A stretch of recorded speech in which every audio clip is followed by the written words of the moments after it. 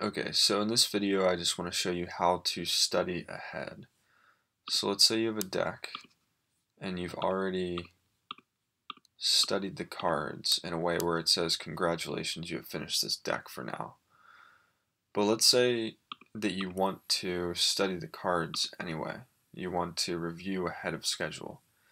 So what you do is you click custom study and then you you uh, go to review ahead and you review ahead by the number of days. Since I clicked easy just now, and if re review ahead by four days, but you know you can put anything that would be longer than uh, the amount of time until they would pop up again. Click OK, and now you have a new deck called Custom Study Session.